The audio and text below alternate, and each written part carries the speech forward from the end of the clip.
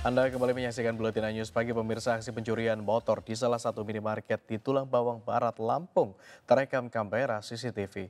Hanya dalam hitungan detik pelaku berhasil membawa kabur motor karyawan minimarket yang terparkir di minimarket tersebut.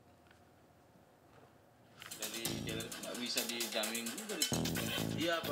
Dari rekaman kamera pengawas terlihat seorang pelaku menggasak motor milik karyawan minimarket di area parkir. Pelaku merusak kunci kontak dengan menggunakan letter T dan langsung kabur ke arah selatan. Menurut saksi mata, aksi pencurian tersebut berlangsung begitu cepat. Korban yang baru tiba di tempat bekerjanya tersebut baru saja membuka pintu minimarket sekitar pukul 6 pagi. Saat sedang mengoperasikan komputer, pelaku beraksi dan berhasil membawa kabur motor metik milik korban.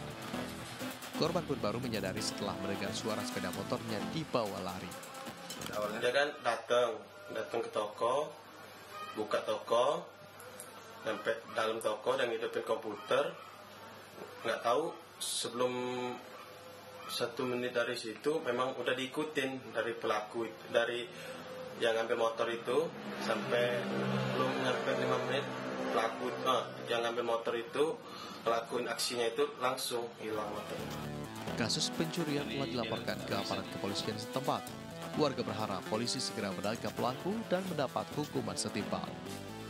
Dari Tulang Bawang Barat Lampung, Jim Irawan, Anyus melaporkan.